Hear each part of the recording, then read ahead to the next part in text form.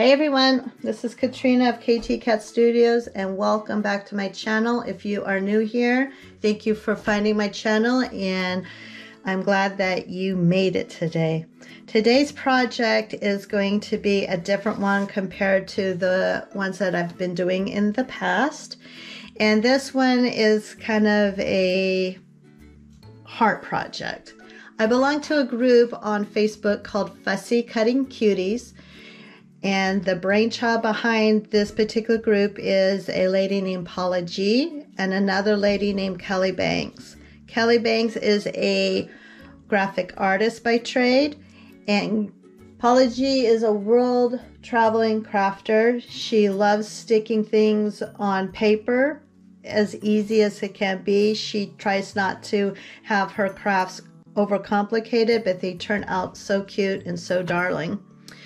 So there's an inside joke in the group that we have squirrels or we're chasing squirrels or squirreling, you know, squirrel moments. A lot of us have ADHD and we focus or we micro focus and all of a sudden we're focusing on something else. So Paula G and Kelly Bangs decided to come up with a mascot for us and it's this guy right here. His name is Sprinkles the Squirrel or I apologize, it could be a girl too. So I'm just going to call them Sprinkles. And Kelly was nice enough to make one without holding scissors. For the ones that might have had kids back in the late 90s or early 2000s, there's a book series called Flat Stanley.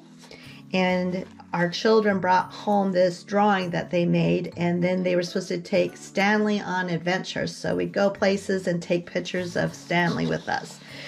So they encouraged us to do the same type of thing with these. So I'm gonna lam- I'm gonna cut these out and laminate them and take them on adventures and see where Sprinkles wants to go. Well, as I mentioned, we do everything not really fancy dancy in the group, but we are allowed to get fancy dancy at times. And so there was some ladies in the group that decided that we needed a solid sprinkles of squirrel. And so when one sees it, we all see it and we all rush off to the store to get it. Um, this particular squirrel came from Target, and I apologize that it's dismantled already. I was trying to prep it before um, I started recording today so I could save a little time. And in the process, I injured myself, but hey, that's okay. It's all for crafting. So this little guy had a bow tie on it, which I didn't care for, and it was holding, instead of scissors, it was holding this acorn, which was screwed on the back. So I don't know if I'm going to use this or this might be a um, takeoff for something else. Haven't decided yet. But the main focus right now is that I'm going to be able to, to the best of my ability, I'm going to paint this little guy or gal. You know what? It sprinkles the squirrel and mine's a boy. There, it's settled. so I'm going to paint him uh, just like this. And I found some of the paints in my paint stash. Um, these all are, are also from Target, handmade modern, but unfortunately they changed their names. So I'm sorry you will not be able to find this exact paint. But I figured it was coral due to how my printer printed it out and I did it at the highest setting on my fancy dancy paper, which I will link below. Remember, I have no affiliated links. I just like getting you there faster. And then the ears kind of looked orange to me, so maybe this blood orange. And then what I might do is um, add some white to the coral to get this part of it. Then of course I have all these awesome teal and hot pink and chocolate brown and yummy yellow um, to put on the back of sprinkles for his decoration. So, like I said before, I dismantled it a little. I got myself some sandpaper at the dollar store. I got the fine grit because if you get anything a little coarser, you'll take more off than what you want to do. So what my plan is, is I'm going to sand, try to get this as much off as possible. And then um, if it isn't as smooth as I think it is, then Sprinkles is going to be facing this way. But this side, I'm still going to paint solid. I might just paint it in the fussy cutting colors, which is usually pink, mustard yellow, and I'm blanking on the third color. I think it might be green. I'm not sure. And the reason I'm just going to do it solid and not try to do another side of the squirrel is that in July of next year, we're having our very first in-person gathering for the cuties in Texas. And the reason we're having it in Texas is because there is a really neat place in Round Top, Texas that Paula G does a lot of her events at, and she wanted us to enjoy the amenities of that place also. So when this is solidly colored, I'm going to bring it with me with a Sharpie and I'm going to get as many autographs as I can all over the back of Sprinkles because I think that would be a great memento for my trip. So now I'm going to put you on fast forward as I get Sprinkles prepped for his paint job.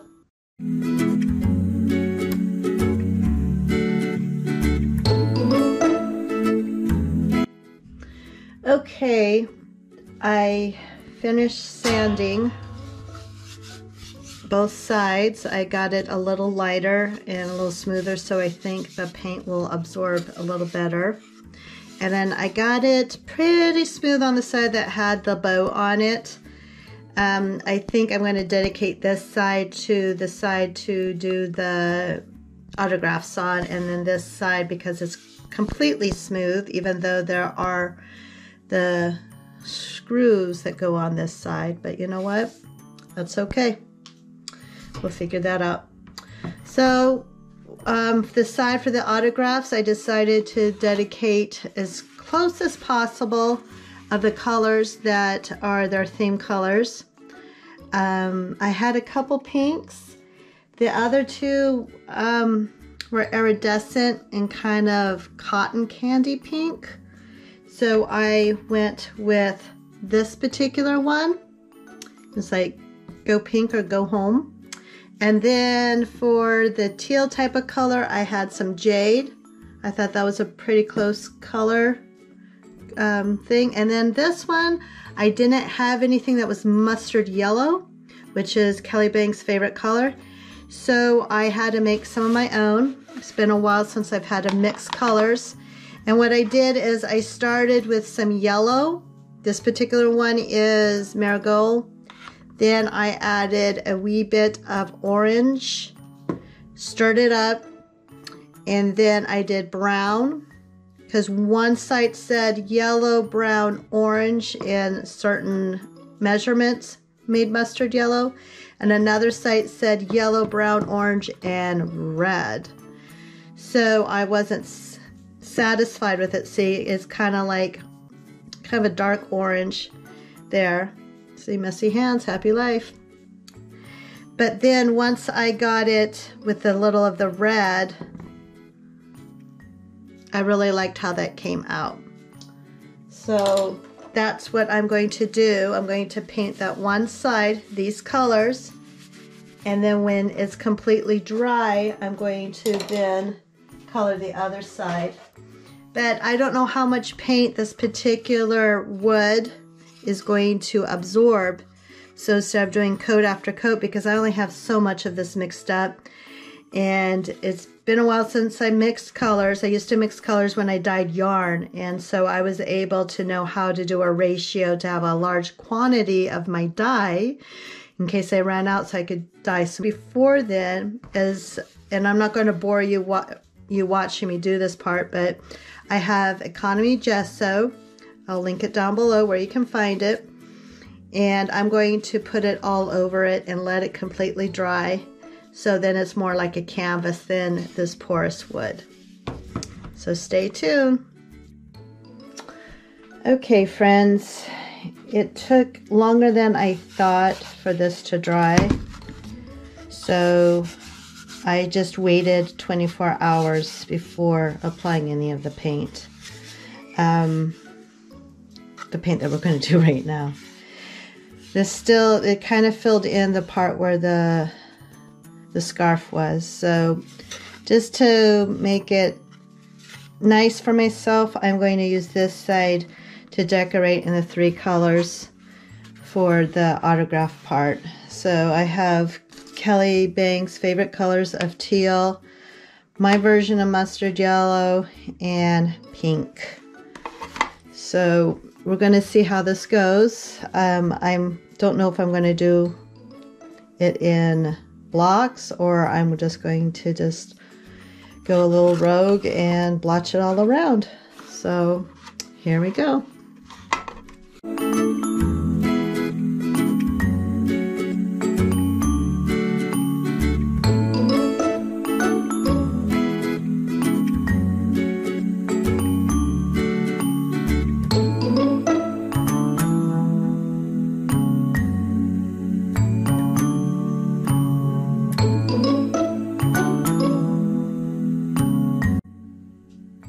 Okay friends, I finished painting this side of sprinkles. I decided to do more a larger area of the teal and the mustard yellow than the pink because I thought that looked really cool. Even though this side is going to look like sprinkles, I decided to go ahead and match the um, tops and sides with the colors that I just painted to give more of a finish look. And then I painted the base with the three colors. I'm probably going to have to go over those a couple more times until I'm satisfied with it. The paint's still a little wet. But remember, messy hands, happy life. So what we're going to do now is flip sprinkles over and do a little sketching. Okay, here's the large um, picture of sprinkles that I printed up on highest quality of my printer. And even though it printed out more of this coral, like I spoke about before, it actually, sprinkles is supposed to be this pink color. But um, since there's like this hot pink here, I think I might just keep it low key or come back and use the pink that I used on the other side and then um, tone it down with some white. So even though we don't have these large ears, his tail is two-toned. I know some people in our group saying that Sprinkles is a girl, but I have it as a boy. so I'm going to now try to sketch out some of the dominant lines and then the nose and then the eye and then maybe a little the ear. Um, and then we'll go from there to start painting it.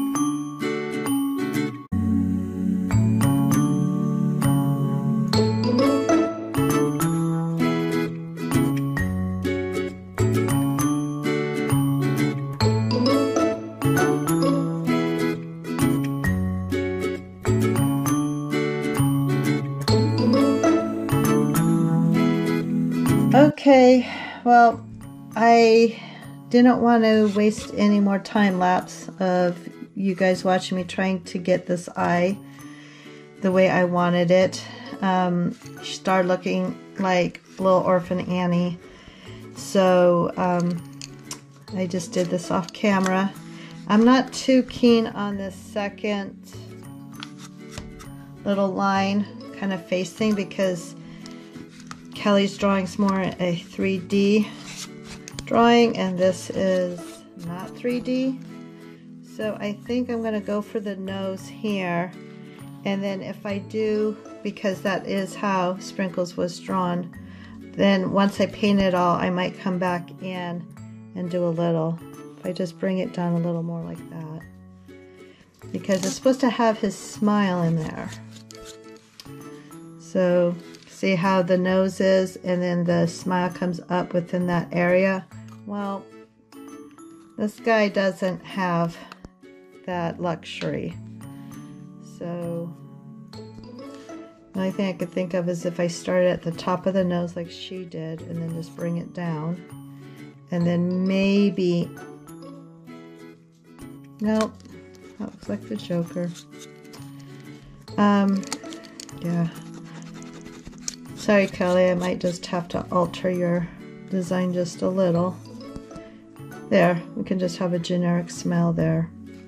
Okay, so here's the outline of the foot, hind corners, and I got outlines of the tail, the ears, the eye, nose, and mouth. Now we get to paint. Okay, I decided I'm going to use this particular pink. This is full strength. Then I put a little in this part and this part. This one I added a lot of white to. This one I added kind of white to. So we have that, that, and that. It's um it's just a, a little subtle between the three, but I think it will look really, really cute on this. So here we go.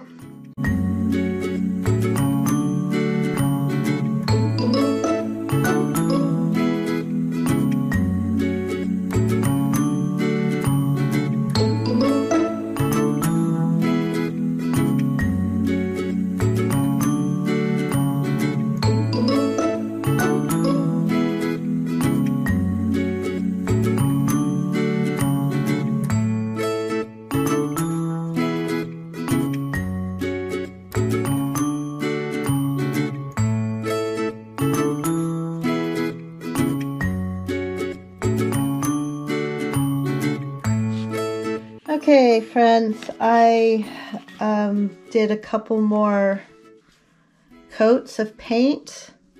Um, it's still wet, so you probably can't see the definition yet. So what I'm going to do while this is drying, because I because of it being wood and the type of acrylic paint I'm using, I'm probably going to have to do a couple more coats so it'll be nice and solid like I did on the side. Even though you could kind of see the grains wood, which I think is cool. So what I'm going to do now while we're waiting for that to dry is to try to do a little detail of the rest of the head. And I'm taking artistic liberty and then using the yellow to paint inside the ears.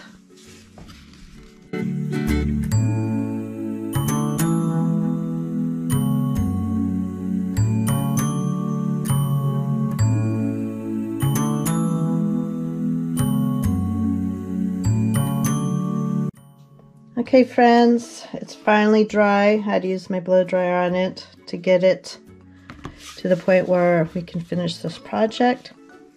And now instead of using a Sharpie, I'm going to try my best without messing up using this artist pen. It has a big brush.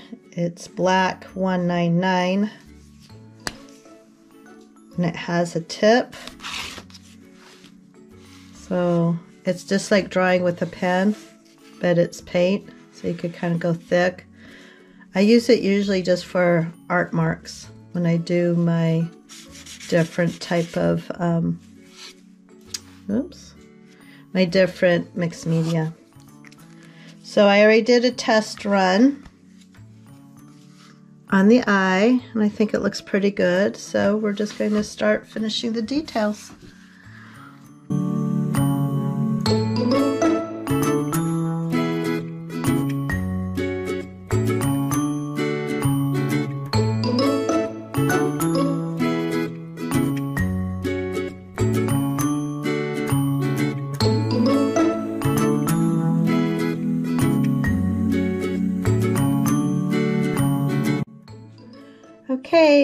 Here's the original sprinkles and here's my version.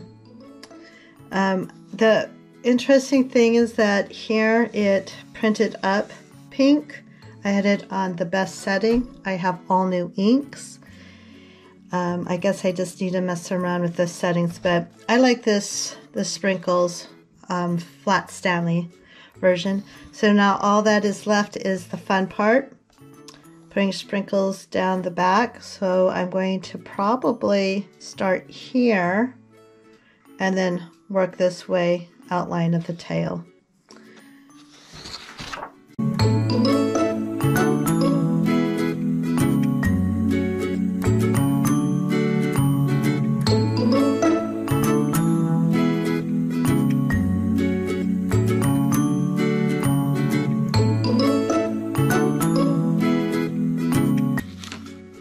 Okay, there we go.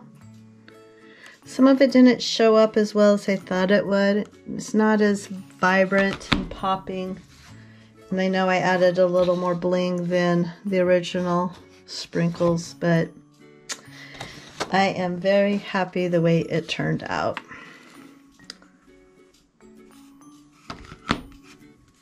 Thank you for joining me today. Thank you for watching. Remember, messy hands, happy life. Don't forget to subscribe. Bye.